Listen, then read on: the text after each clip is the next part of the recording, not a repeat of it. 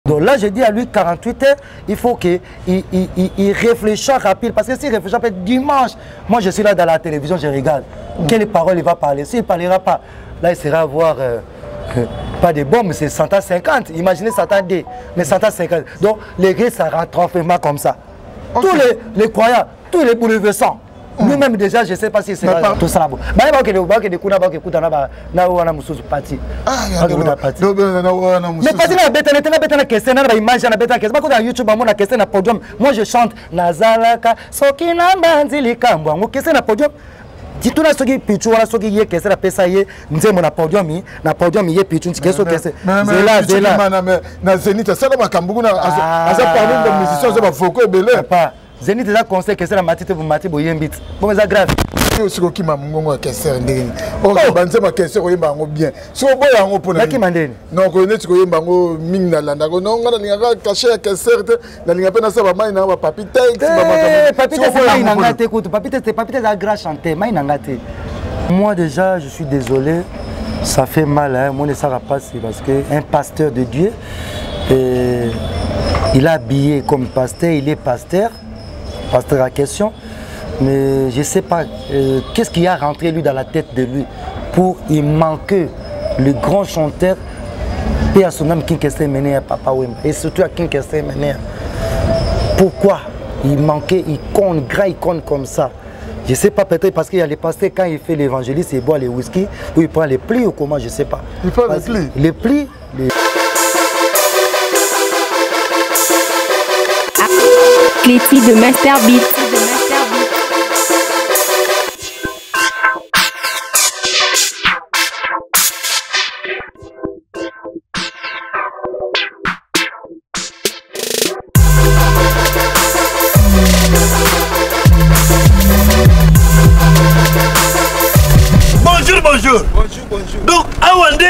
agence la perle générale trading oyo oh, papa laurent yango ya papa na ye biro eza wapi biro eza koto ngai eza commerce nasalaka commerçant nauti rdc oh. naye dubai nasala bacontenaire oh. bato bateyi nga lobi agence eza moko agence la père général trading yango na ye bonjour mobos bonjour papa de loin mokaka eza bosi ya lisasa je m'appelle vie de loin naye nasala bacontenaire na dubai nasomba mituka bakoli bamarchandise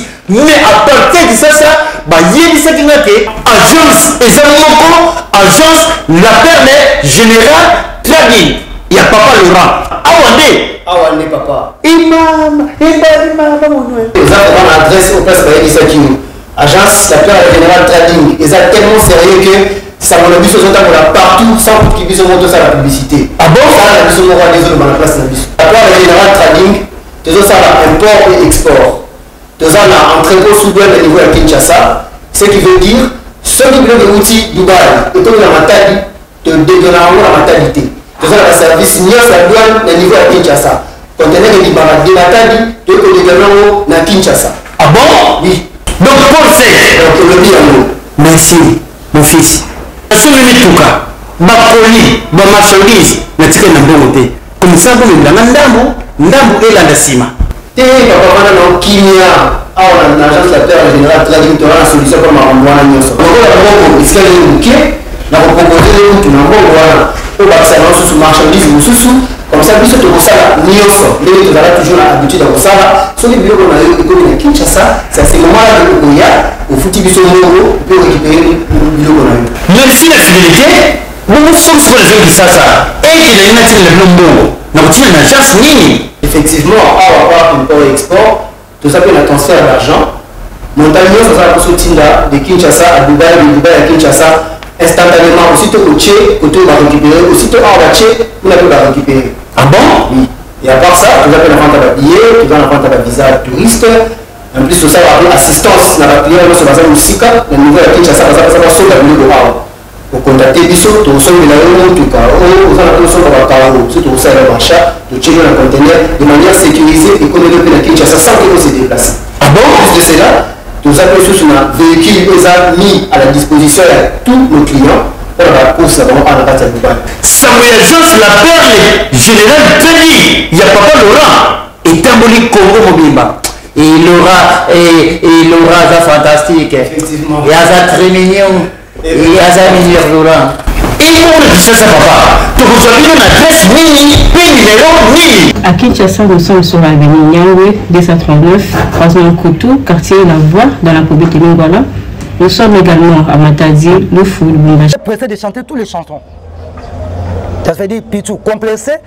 azobanga banga ko do azowelela mpo ayemba pichu azoyemba voi yango mpe aza na yango te azoyemba na sa façon de lui tu vois déjà j'ai dit adel okela mais vous vous pensez comment ok c'était le problème que pichu kimana oui oui oui oui ah. azowelela banzembo oui na barepetio azowelela nga kuna nayembika disi nazwi ata temps oyemba te il dit que king kester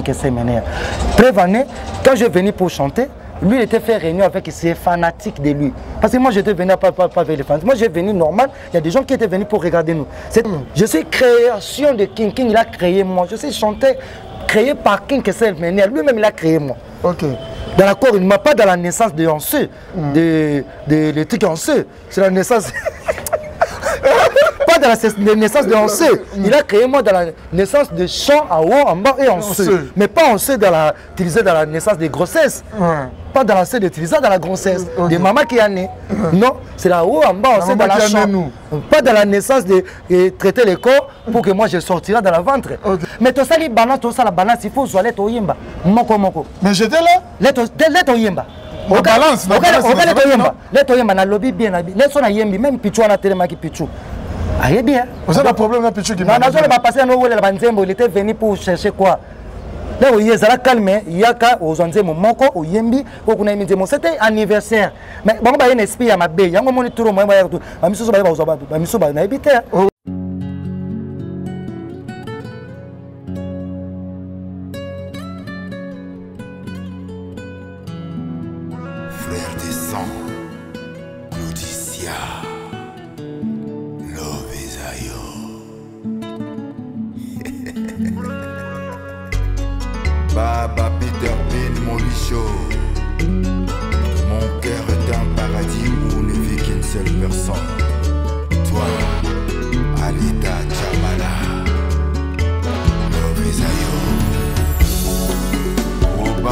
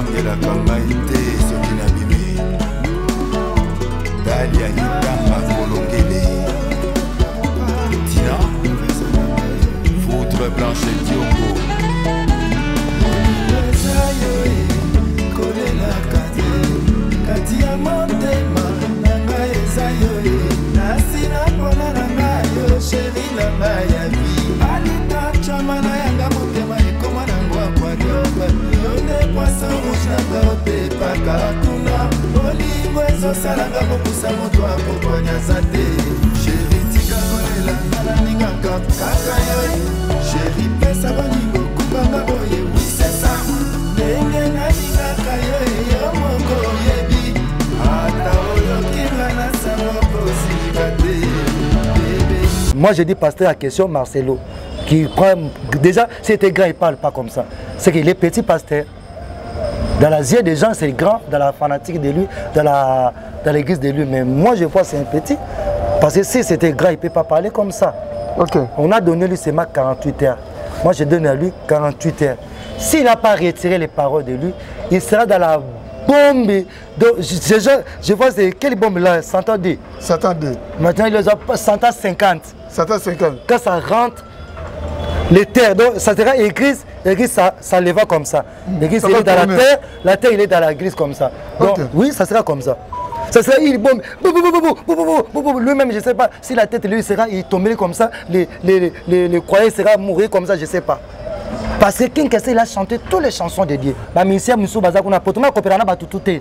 parce que ce sont des gens oyo babangaka biso to ya banikili ce sont ce sont des gens baza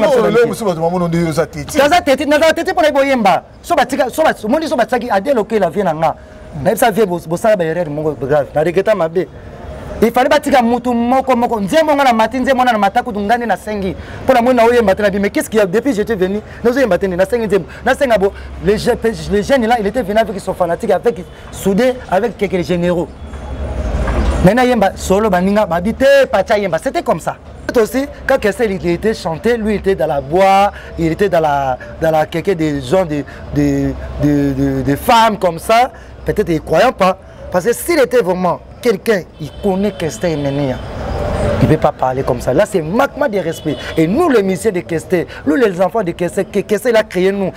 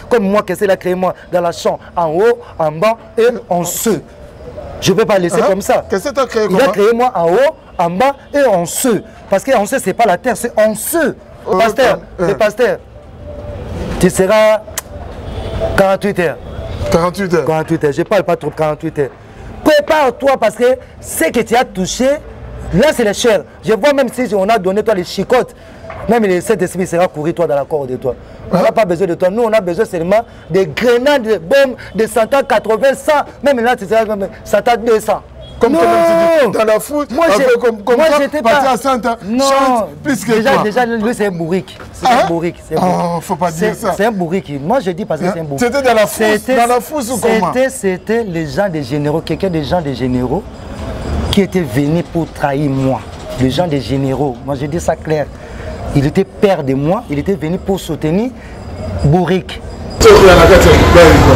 Storia na kati ya Dubai. Ah, Nesha Pindi pe de grâce à lui makambo oyo. Qui faut tota olympique. Noko ya bana na kati ya l'ordre pa lui makambo oyo kwa. Tebise bango. Kotuna te pa bake na mbunda kota yo beta. Ko comprendre ka kwa. Didier Nzita very strong. Na kati ya Dubai. Très heureux ya koyeba ke boza ebele bozotala Historia avec Didier Nzita, Very Strong, humble serviteur na bino. Émission Historia oyo botalaka bongo na Congo 24 TV esika wapi. Tozalaka mobimba na émission lelo na bike bokotonda na français bokotonda na français lelo bokoyoka lisusu français oyo na boyoka te parce que naza bongo eh, na petit david himalaya himalaya mopala anki akufa nki akufa nka musicien oyo boyebi oyo ye moko king keser emine ya afasona lelo te ba mopala akoma kosala nini mopala estce aza kaka na victoria ou bien ye mpe azosala makambo na ndenge na ye mais question d'actualité ekozanga te parce que balobi lelo bana victoria bana viva la musica bazoya kosilika parce que parcelle pasteur marcelo tunasi atuti bordure atuti bordure mpo na bango balobi keno pasteur marcelo amanke bawa orke toyebi biso nyonso balobaki no fo korespectaka bamort donc lelo toza na mopala tokomeka kosolola par rapport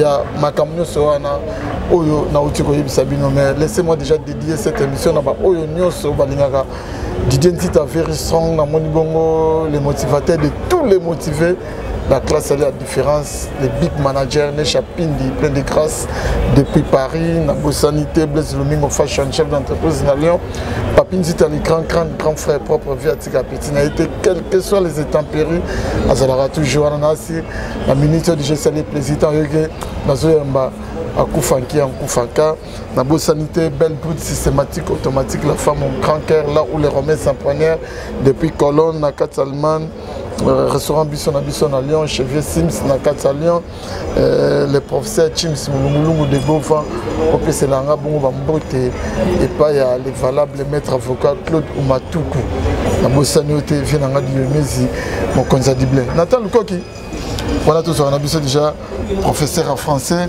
nayebi te soki fete obana émission na français ou bien en lingala, je ne sais pas, mon frère. Tu dis quoi On commence en français ou bien non, en lingala Moi, je suis monsieur le Français. Hmm. Monsieur les Français, donc euh, monsieur Maurice Crévis, Balanqui, Akoufanki Akoufaka, l'homme n'est pas désespéré, donc euh, voilà. Hmm. Donc, on euh, va commencer d'abord dans la nature des Français. Comme ça, on va partir à lingala après.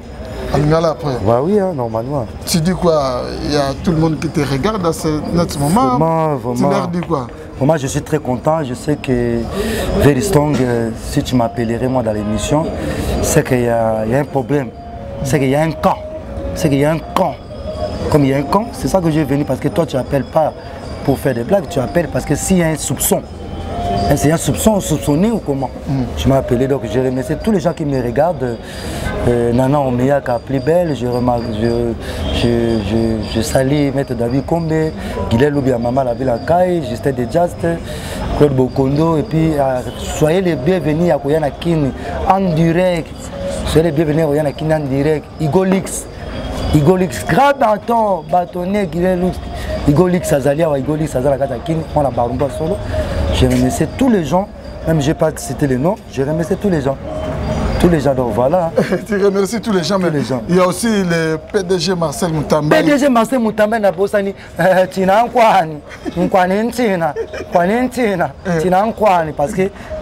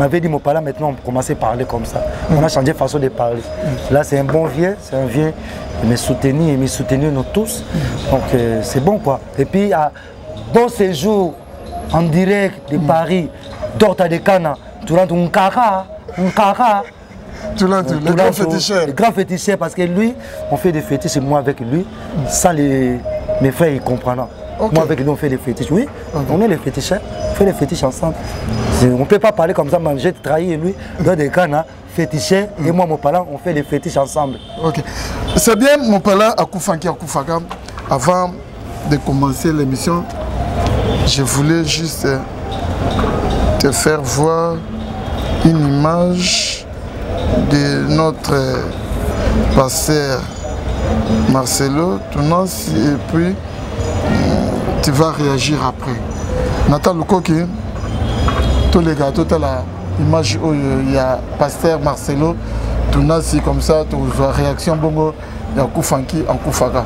Allons-y. Excusez-moi si vous êtes de sa famille, mais je n'ai rien contre vous, mais je dois parler.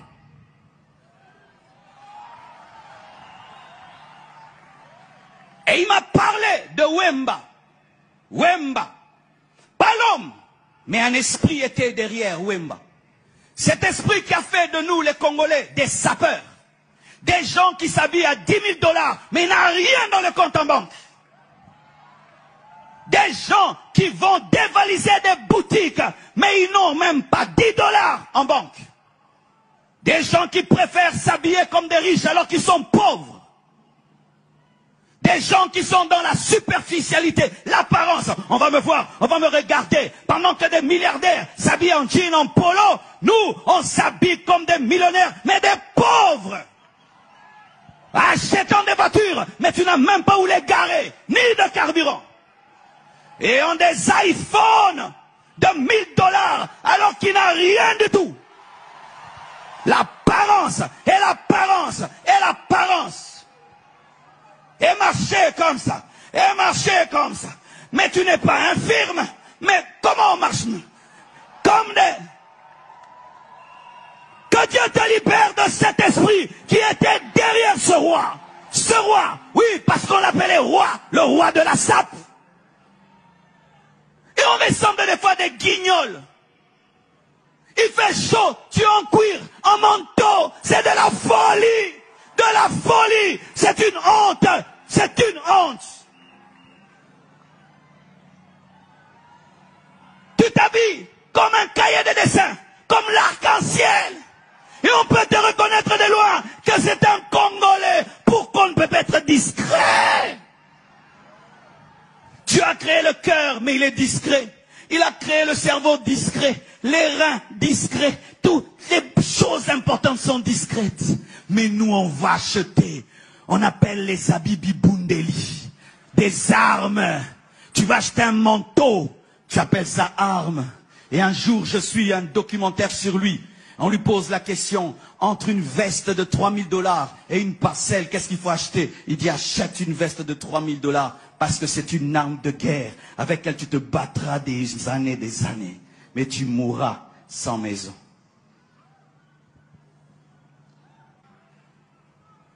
Et un autre, on l'appelait King Kester, Emeneya.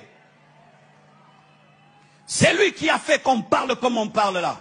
Yo sana nga yo keba no kuta na yo mbendre moko boye. Il parlait comme ça, il insultait les gens à la télévision. Il n'était pas le meilleur musicien, mais il disait qu'il était le roi. Il ne croyait en personne. Il boudait, boudait tout le monde. Et nous avons pris cet esprit. Et les Congolais, on est quoi Tondi Maramoutouté, Mandi Maramoutoute. Moi, je ne crois en personne. Il ne me dépasse pas. Moi, je ne crois pas en personne. Je ne crois personne. RDC, et le Robocassi, et le euh, sabia euh, euh, mopala akufangi tozotala video oyo omoni ndenge paster marcelo alobi mpo na kinkesere mine ya mpe mpo na papa wemba nayebi te réaction nayo ekozala nini parce que elobi docteur dekana déjà depuis paris afashaki ya nayebi te yo okoloba nini pour moi déjà je suis désolé ça fait mal hein. mon esaka mpasi parce que un pasteur de dieu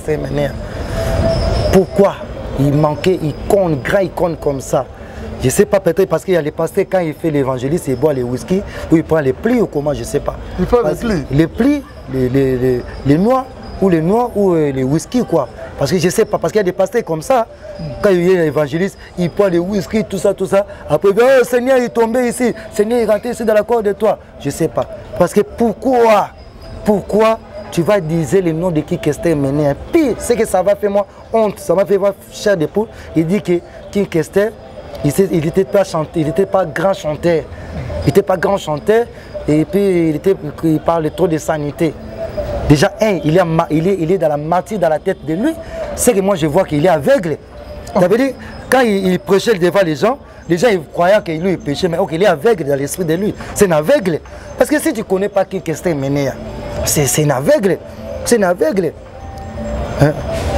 Je salue d'abord pasteur qui, grand pasteur. J'ai salué lui. Je salue encore pasteur Mutombo. Pasteur Mutombo à 8 mairie, grand pasteur, j'ai salué lui. C'est ça qu'il faut maintenant commencer d'arrêter tous les pasteurs qui, qui traumatisaient les gens. Parce que dernièrement, il y a les pasteurs qui étaient sortis dans la pasteur de matin qui mangent les, protocoles, qui mangeraient.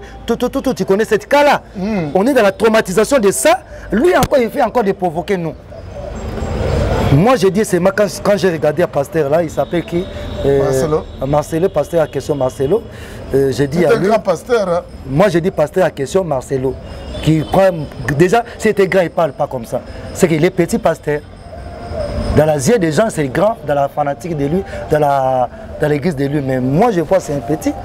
Parce que si c'était grand, il ne peut pas parler comme ça. On a donné lui ma 48 heures. Moi, je donne à lui 48 heures. S'il n'a pas retiré les paroles de lui, il sera dans la Bombe De, je, je, je vois quelle bombe là 102. 102. Maintenant, il les a 150. 150. Quand ça rentre,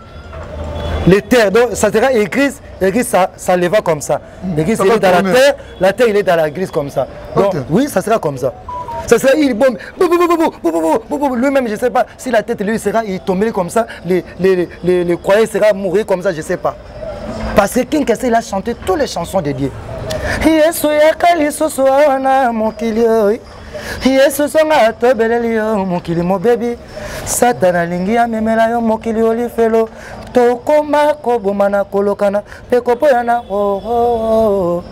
yo satana yo moto libanga matoyi mayo mangongi yesu soki mokili moza mwa bino ho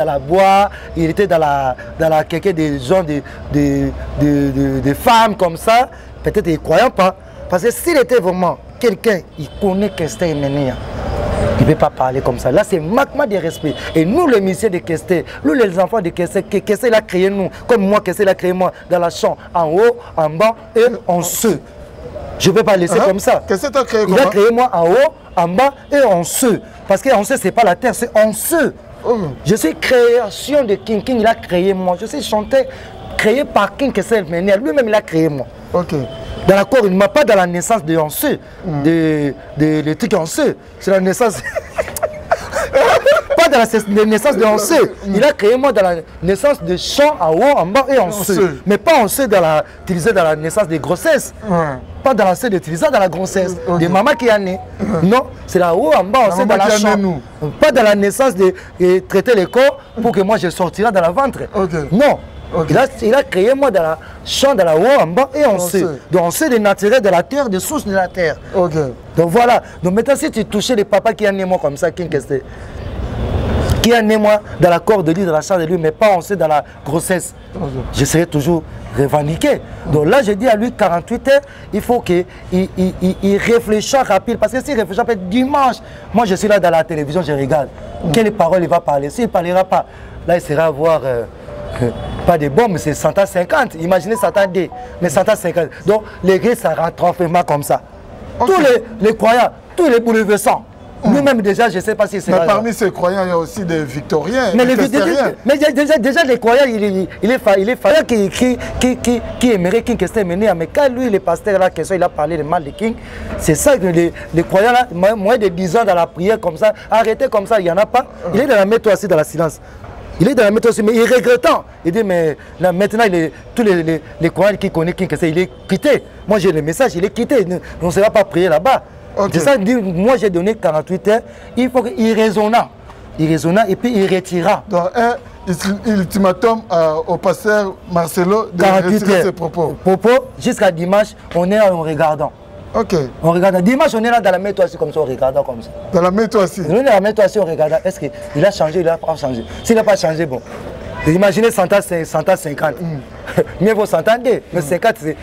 Donc, donc tous les terres okay. bouleversées. Qui, donc, qui avait chanté la chanson il a, Vélé, il a chanté, voilà, il a chanté Yaka yaka baninga boyoka sango malamu boyebi lelo na balali mpo na sukoli motema na nga mpo nayebi bokonzi ya nzambe ekomi pene mboka mboka pusana pembeni na yawe bato bato bafukamela ye mpamba te nkanda ya nzambe esi ekomi pene esengo esengo na baoyo bakima masumuki esengo esengo na baoyo bakima satana mpo nzambe azali na bango pembeni kino liwa ah! non pasteur eh. le pasteur tu seras 48 heures 48 heures 48 heures je parle pas trop 48 heures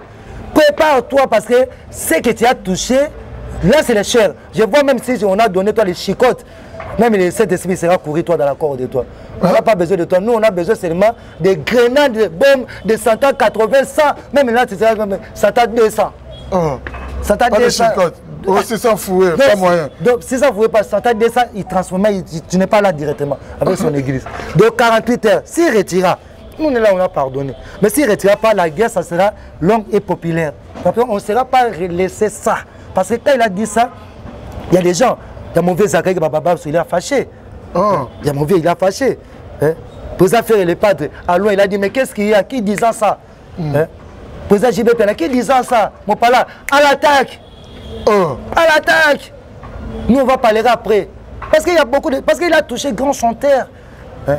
il a touché grand chanteur wenge so ebima wenge 4 x 4 oyo oyokaki bese bese bonjour bonjour ebima na nini c'est victoire non mm. toyoka poni ya solo aku yo bosani le passé nakamwe ndongo ignore jibe yomoni montindo yokomi kosala nga eh, bato kutu babima po batata me bakoma bapatron mpo na emeneya yo mm. soki oloba donc 48 heures mm. je connais pas toi parce que je vois tu avec grand cheveux comme ça bon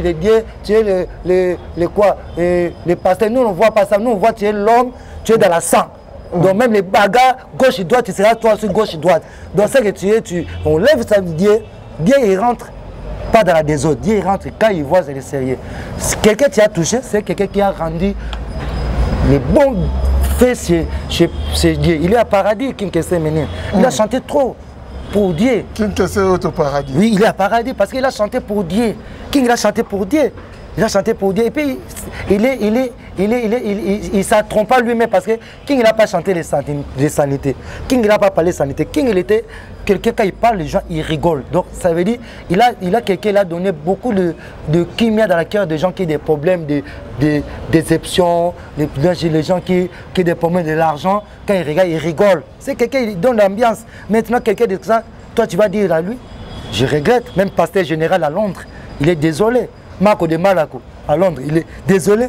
Birto Désolé. Hein. Il, y a des, gens à Londres, tous les gens de Londres, Français Loukoubika, en euh, direct de Londres, fatigués. Tous les gens sont fatigués. Donc, imaginez maintenant, si on mélange Londres, Paris, Suisse, tous les pays-là, on est dans la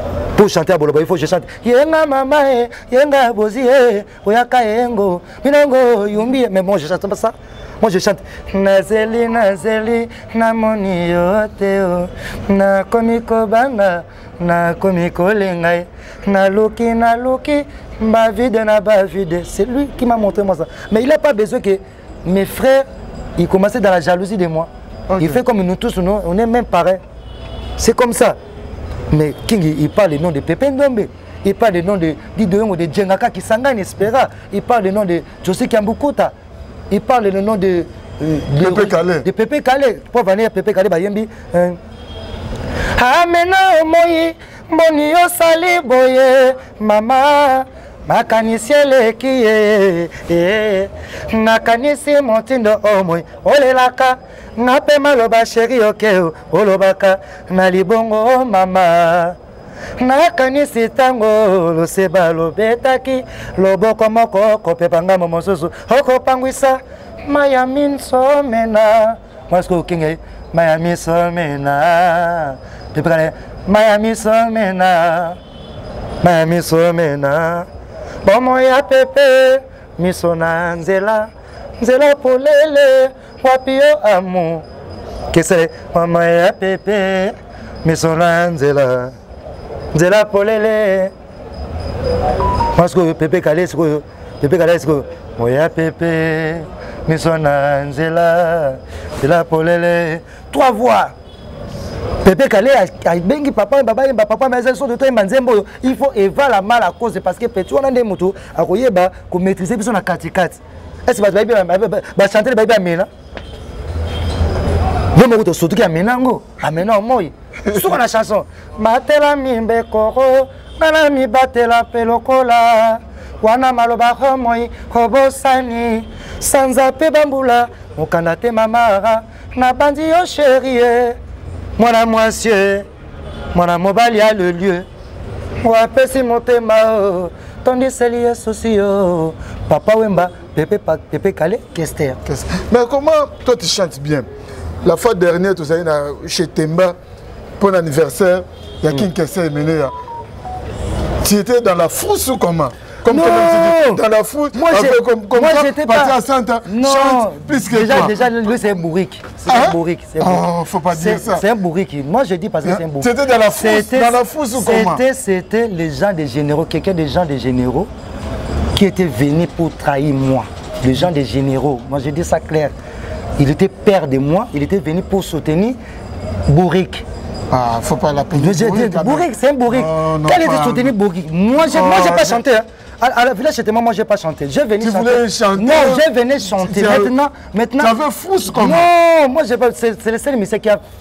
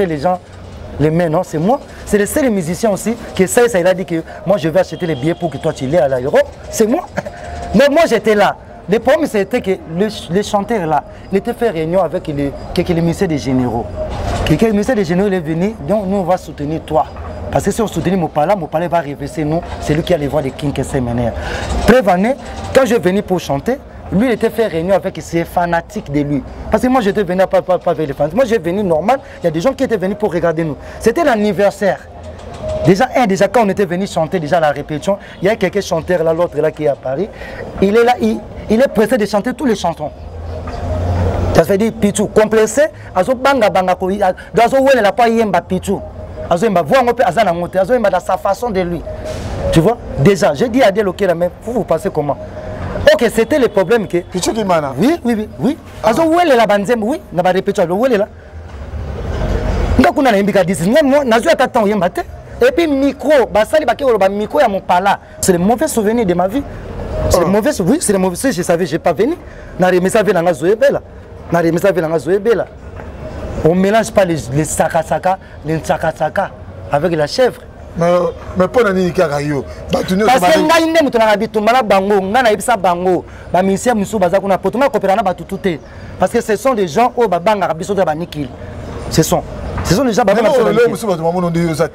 teti nazala teti mpona boyemba so batika so omoni so batikaki adeloke la vie na nga nayebisa vie bosala baerreur moko grave na regreta mabe ifali batika mutu moko moko nzembo nga na mati nzembo wana na mata kutu nga nde nasengi mpo na moni na oyemba te na bime qu'est ce qu'il y a depuis j'étais venu nazoyemba te nde nasengi nzembo nasenga bo le jeune là il était venu avec son fanatique avec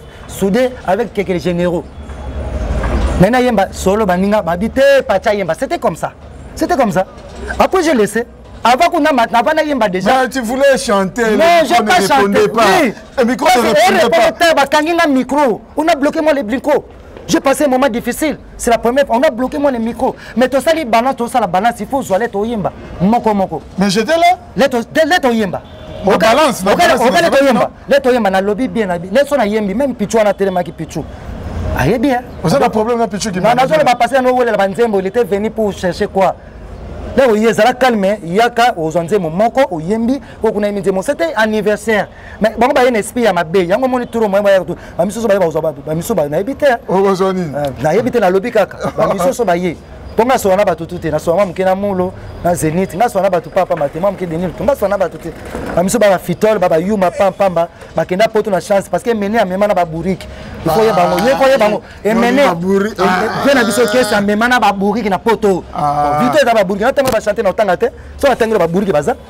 baburuki baza yo azibi nde bamiso bakenda poto baya bachante bafaux chanteur Ah bon, yo grand chanteur. Nga grand chanteur. Mais yo peut faire le. Mala kene poto nga ni nga deja nga deja nga na biso na beton histoire na nga. Nga deja ne un kinwani abengi abengi case vie case na la posa mopala. Na tika mona kinwani te à l'époque les jours les plus on en est bimite. Nga bana dia succès tongote. kaka na bafrançais na koyemba nayemba nze moto ya papier tex danger deuxièmement lisusu ngai makambo mosusu amina aloba eyosa neti nakocontre patron na nga mpe ya soname nakoloba te ça sert à rien nga aliki na bacombativité ya makasi ti baya wana bamisu bayaka mpo basoutenir nga bamisu bayaka babi te fo tosala boye tosala boye baya bakende bakende kuna bakekuta na wana mosusu pati ah, mais pati na abetana te nabetana kese na na baimage na betana kese bakota na youtube bamona kese na podium moi je chante nazalaka soki na mbanzi likambo yango kese na podium tituna soki pichu wana soki ye kese napesa ye nzembo na podium na podium ye pichu ntike so kese zela zela na zenith asala makambo kuna ah. aza parmi ba musicien aza bavoko ebele zenith eza conseil kese na mati te bomati boyembi ti bongo eza grave eza grave bongo nga soko poto nga tokenda king bayebi bayebi valeur nga okinga apesa nga bayebi valeur babika ti baseba biso basepelaki nga kufi ya bapema baya te so baye tokokufa me nga na oya mikili nga na oya baverité eyebana kaka eyebana eyebanaozala teti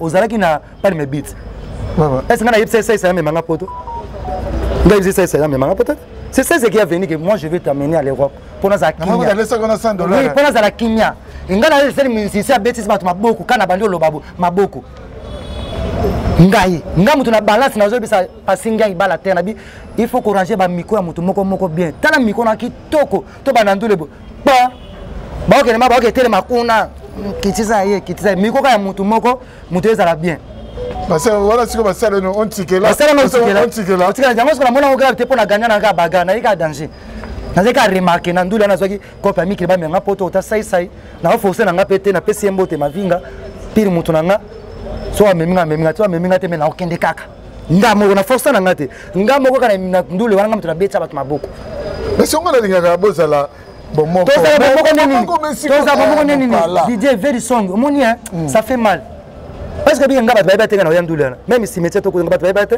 nga boya na nga oya te nga naye mpo na ogi lutula mon vieux na salue pese mbutu nga mpo na ogi abi petit yo fo ozala oza très important navandi na bi baranki nango mpe tokende yango mosani tozala ok bamasta wana mosusu ya poto wana ce sont des raquines ce sont des bandoki basorcier babanga nga na ya mikili mai na oya ngaimokili bango baza ambassade te tekasikae koyebi moto so obanga abango ya mikili yani e moto mosu akobala tonga lamu kaka seigneur moto wana azwa chance te ye kaka mikili awa seigneur a biso vraimen seigneur moto wana seigneur mpo nga nayebana te ngana français di il perd que moi je viens en europe si je viens dans la champ na biso vérité je vais vérité babeta beta badisque mosusu babimisa bayemani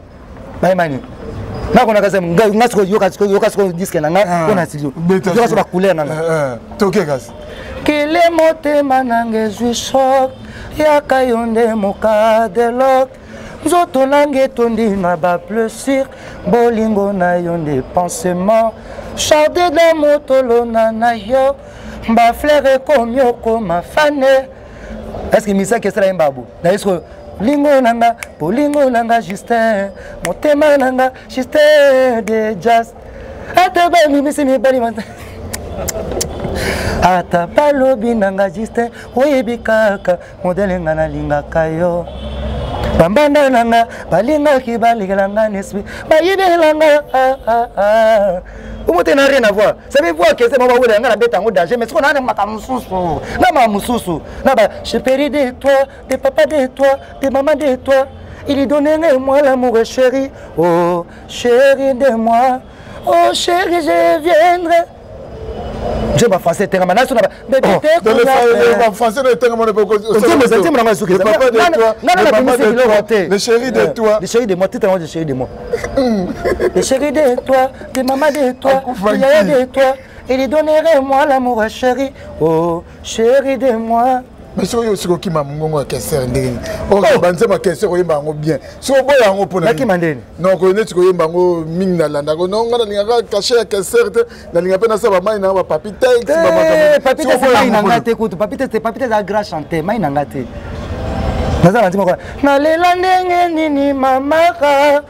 bipai biso kaka kotongo babwebiseli biso lingomba baninga mpe bakomi kolimwa ah, pepe pepe oyebi yango te taliasi alobi patolo ekotobuka ndisi mwana sapato ekotengama kaka mpo na kolisa makizare na biso nalokaka kingi te mm. nande peti na bango mwana bango evala sikoyo mana kozala naze mwana ya kreya eloko ebomaka ngai nde voi ya king te mba naa na voi ya king yango elukela ngai baproblème bamasa misusu bakoka kosiporte yango te ndenge bamasa nini oyo bosala masa misusu baza wana baza bakoka yango te ngai moto ayebisa nga kaka vie na ngai joli ata nataka ye trop mais vie joli andima ayebisanga ke ah, mon petit frère ozwaka grand frère na ngai bien amonango grave te po azwa ta tovanda toyemba po amonema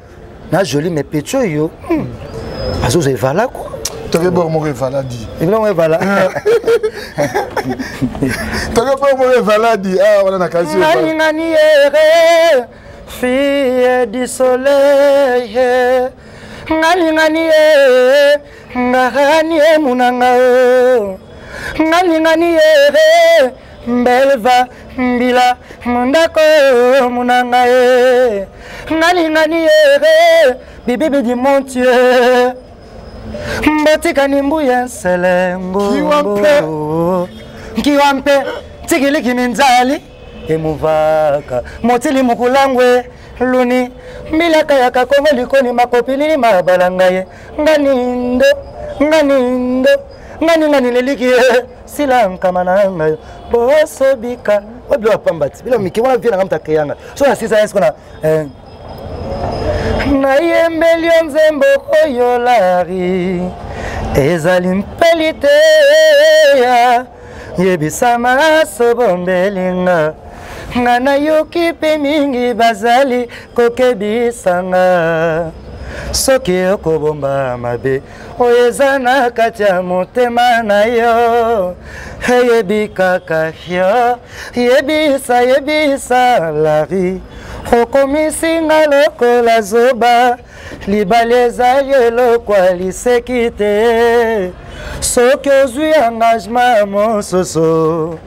nga natika na nga mpo bomoi bwa moto oyo ah, makambo mike nga noyemba kingi avandi nga na oyemba bamasa na nga bamusa bayebi batofolo bayebi nga omoni nga mm. eloko eboma mpo verité yango na sepe na youtube namoni ma kingi na podium nga na oyemba nzembo ne atelemi ayesi nga banda nzembo eloko esali nga plaisir moto atili nga piri vie na ngai moto vie na ngai jibe piana abi petit wa grand chanteur eh, kese na podium grand chanteur lisusu nga na grand chanteur ko oh, yo grand chanteur grand chanteur na ye boyemba il faut ozalaka fiere batanga bafere ba grand chanteur yo liso grand euh, chanteur fere egola napesa ye mbote abengaka nga grand chanteur peti nango grand chanteur oyemba adanse lobi naki na shulai abi naluka okoboma motu na champ nga yebana nga monoko na nga ezala pamba te nayebi koyemba yose banga bayeba siko moko moko ndibaso na ye yango balingai baetufe nga mikolo nga bakanga ngo na kanda mabe yango motina na ba méchant mabe hein.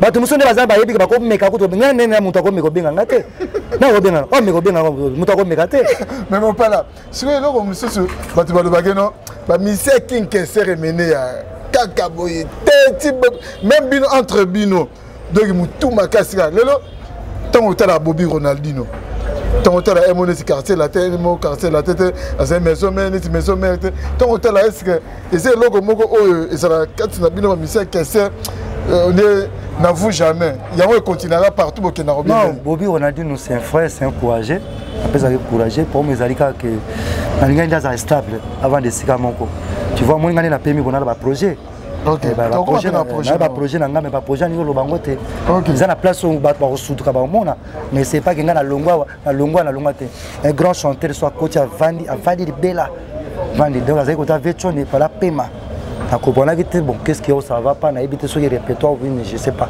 akei na kofi mpe kofi yango nazoyeba te soki comment ça se passe comment je sais pas mais ngai silota bato wana to bazala na mposa na nga ve mopao azala na mposa na nga ve na ngai azala na mposa na nga ah. tuna vie zadio akoyebisa yo eh? vie zadio kazake kofia eseyema ke petwana mopala grand chanteur boyemba nalela étoile ba français mais c'est courageux boyemba parce qu'on a dansé na bina ba français Hein? oloba franquais ou bien français nga loba français je suis quelqu'un il faut bapesanga mbongo na nga salaire na edikaka bato bakacomplexe ya koloba français bien oyo basaka il faut baloba mabe maloba français bien na mabe c'est ça voilà. Voilà. Pas de... Toi-même, tu dis quoi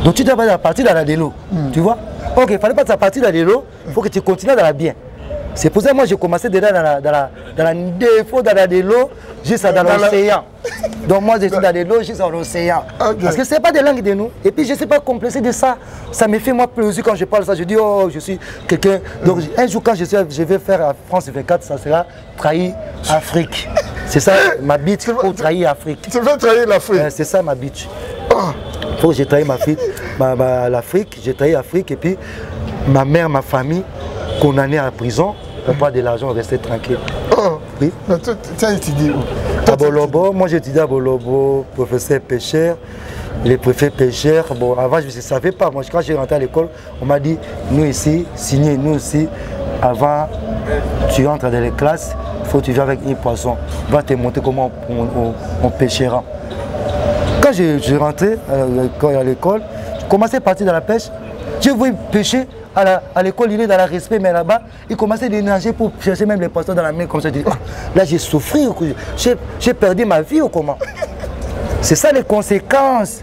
J'ai eu de parler cette langue-là comme ça. Professeur péché, préfet péché,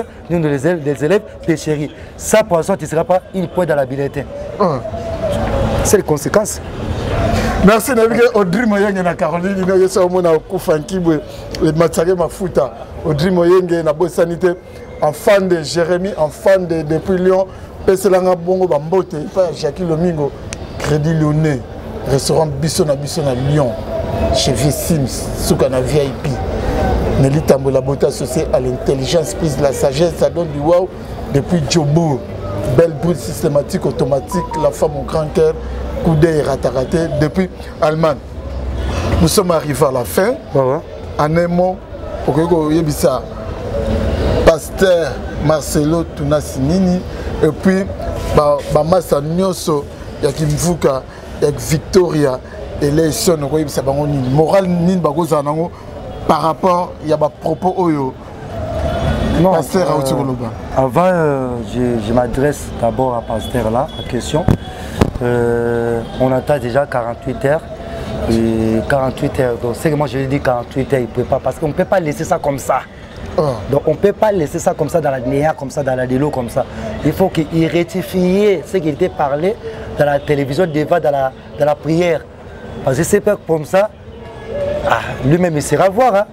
Il sera voir. Parce que c'est les chairs qui étaient parlé Moi je ne vois pas, c'est le Saint-Esprit.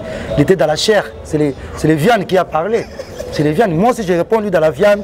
Moi c'est dans la viande, dans la chair, je réponds lui. Donc il faut qu'il il, tout parce que sinon 100, 100, 200, 300, ça sera transformer l'église. Lui-même, il ne sera pas voir. Je ne sais pas s'il sera voir. Lui-même, ça va tourner les terres comme ça. Lui, il sera sourd. On sait. On sait, on ne sera pas de voir, lui. On ne sera pas de voir, lui. Il faut qu'il trouve la solution parce qu'il a touché quelqu'un qui a chanté pour Dieu, quelqu'un qui a reconnaître Dieu, quelqu'un qui a éduqué les gens pour comprendre, même tu fais les, les, les, musiques modernes, même tu fais les musiques de fétiches, sache que Dieu est là. C'est King. Oh. Déjà, c'est quelqu'un à féliciter. Mais voilà, c'est ça que Papa m'a chanté. Et longue à Jésus, moko salaka po bobo makabato. Kombo ya Jésus, moko zwa po bozwaka. Bongo, mokili mabe, oya yango oya. Ade kokoe. Ayembi bongo parce que pour monter à pasteur là que Il y a les chansons qui. Même on va créer les chansons. Oh. Oui, les chansons de lui déjà, il est là. Donc, il faut, donc, quand je dis les bombes, ça serait toutes les façons, non Ça va oh. venir à toutes les façons des chansons, les trucs comme ça, donc tous les bombes. Donc, pour qu'il soit à l'aise de la famille de lui, il faut rectifier ça rapide. Et puis pour les gens de Victoria, que ce soit d'Europe, de kishasa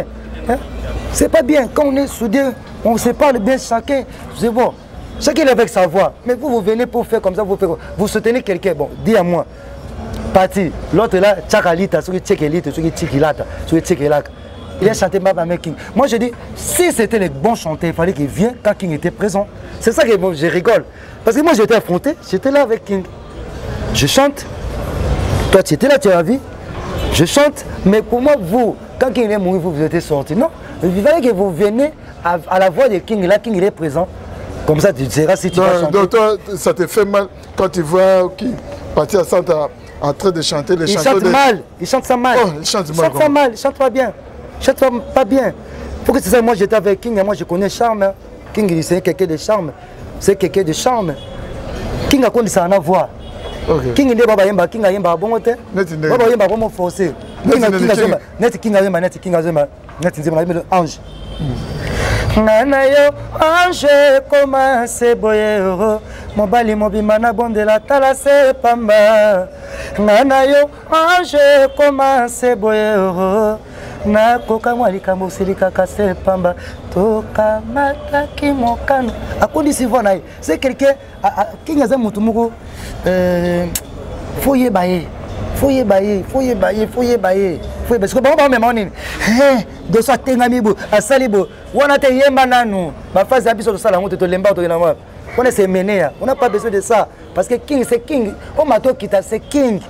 nde toza boso obeti nzembo na voix king oyebi komemi ngambo hmm. parce que oconstole bavictoire bakese mozwa soko critique ebele ayembi ah, lokola ye te akomi vraiment prepre te ah, nias wana soki pala parce que yango king te ah, il faut comprendre ça yango omoni ngai na nzembo agile lubi nayemba kaka eloba evala malakoze kwa mambo ngai namoni mpasi ya pamba ye mama ngai naziki moto ya pamba nakonzemba nakonzemba oo mwana mama jage mambundu lindanda eh. me na suka na ye kile motema na ngai ekomi na baprobleme yaka nanu nazongi na nga nasali ka mpo na nori mpena nazongi na nga parce que so naziyembi boye bato bakopaki se mopala mais so na ekota evala ekoma eh, nzemba ngai ayembi na yoko evala mais ayebi ke koto oyo mpo bato ya evala to bayembaka bato to tosola moko ya poto ya evala bayembaka awa misike bato yango to bayembaka o kaka oki niase moko eza hehe okomona ma moto ozala te po yoka niase moko ezali hehe ovuma oh, eh, papa pesa ngai lari komisi oyelakisa ngai so chan donc bato wana tu balingaka koyemba donc kingi bato nde tu balingai ntina makambo ya koyemba alors sosi komi kobanda oyemba voi na ye yo console nde bato mais kobula remplace ye là tu fais rien bon merci mopala tokomi na suka me ngai nakosenga yo vraiment lokola moko mpe moto na baolinga kinkesere emene ya mingi eh. naolinga bomoko wana boyokani ezonga chance ezali kaka ya ah, yo soki sika chance te chance yaki yango na nayebi biso mais cette fois ci hmm. bango bayebi bayebi figure opesa figure tomonana lisusu te opesa figure tomona te ya pas d'organisation c'est le seul organisation c'était pas bien mabe nga denis lutula abenga nga aotala nga mona denis asanga mopala je suis regretté bato babenga biso pourquoi botikeli mopala ta yemba te Ah, Denis Lutura. Voilà, voilà, Denis Lutura. Voilà, voilà, Denis Lutura. Voilà, voilà, collègue Nanga. Denis Lutura. Désolé. Ce qu'on a, tous au Yemba. tala na repetio bozoyemba boye oke ezalaki nini toyemba boye ndenge nini mopala nzembo nini oyo omoni koyemba tranquille bongo namoni ayemba nanga desi desi yo oyemba nzembo nini te ngai namoni oyemba euh, sango mabala commission ngai namoni oyemba bo ngai namoni soko nde tokutana kuna eza nini eza make toyembi ensemble mpe moko moko aza na honneur na ye c'était comme ça mais toyemba bo amisoko dodo bamona so aweleli nzembo to nde baoyeba te ayembaka oyembaka no bakomonaka oyembaka laisse les gens bato babenga ngai bato mosusu basepelaki basinga fale mpo okende fale mpo okende mais ok motema na kolinga te tozonga ensemble tozala ensemble ça sert à rien neti nga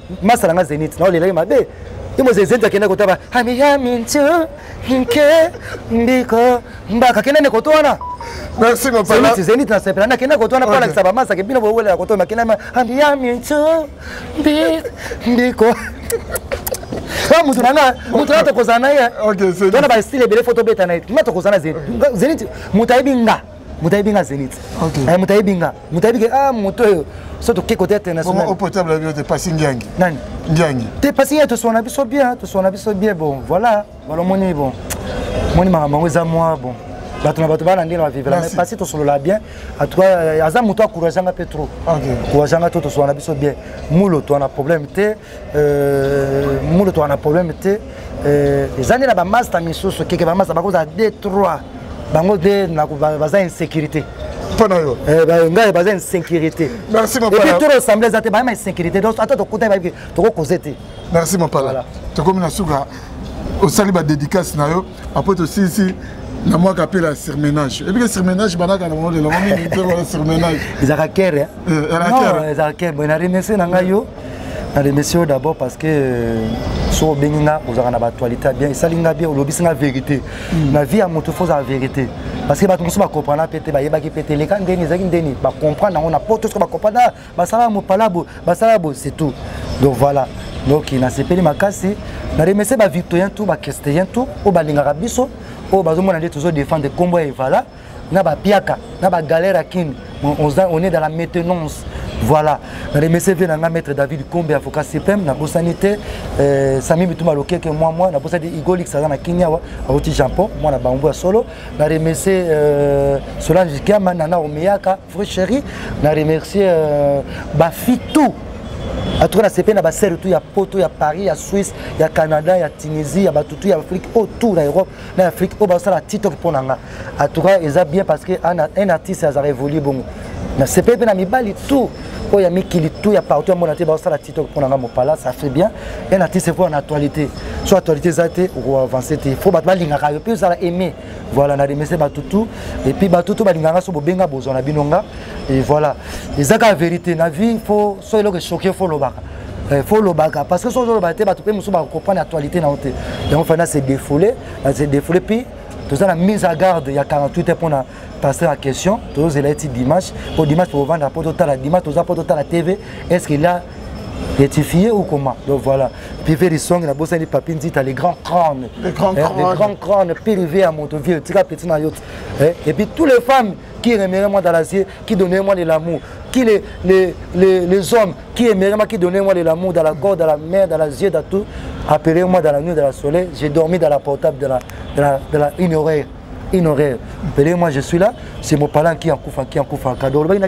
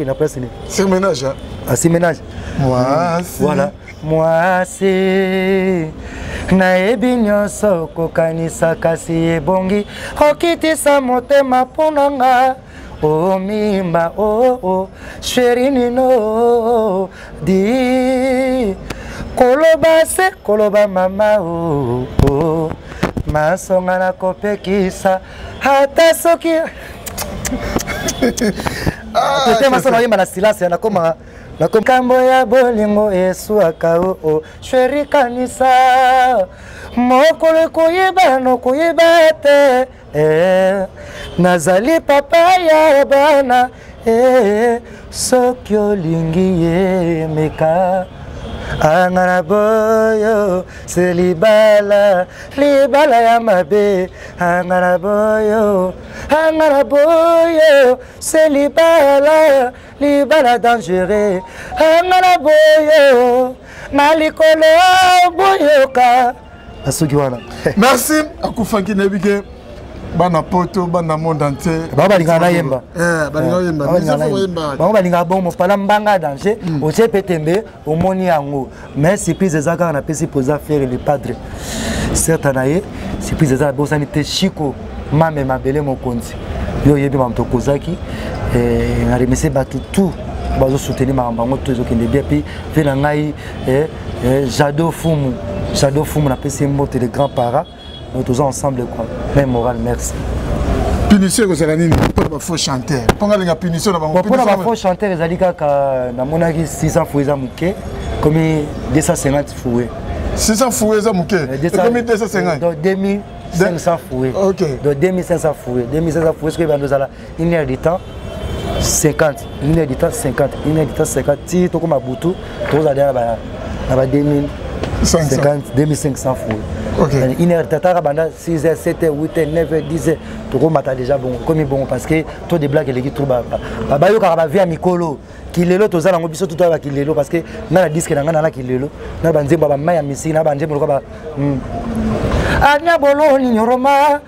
nina makafolo nina meko ale jarabile ma vie mon cœur mon himalaya je me sens mal lorsque tu es loin car sans toi ma vie que malheur mon pala tu es à moi donc voilà merci merci vraiment tokomi na suka chikicha chikiche cha cha merci na bato nyonso batali biso so bosepeli na émission bolobi bongo grand merci na nathan lukoki na nsima caméra na montage namoni mpe kaka ye tokutani bongo pour une prochaine émission merci ciao à suivre belemo historia lisolo ya litoi te o oh. kasi ya bilili tokomona tokotala elengi monde entier Bon naye na nga na tembe te tosala wenge na tembe te wenge ezalaki lokola loisir ti eye ekoma profession. En tout cas na kamwaka donc makambo tolobelaka tolobelaka tolemba musique congolaise ezaki na ghetto sikoyo ekomi communautaire ekiti susu donc na plus bas niveau ekomi communautaire yango tozobunda mpo tobimisa yango na kati ya communauté na kati ya ghetto tozwa disque d'or Inshallah. Allah Akbar. Likunya esila c'était likunya n'est pas nanga tina francophonie boboyi kotyanga problème eza te nakobeta ata francophonie na, na poto ata francophonie mosusu nakocreye deja nkombo wana ozobenga saisai euti na papa wemba omoni kote oyo tozowuta deja je veux dire si aujourd'hui babengaka nga saisai c'est grâce ya nzembo ya tout le monde saisai chanté par papa wemba historia Historia avec Didier Nzita.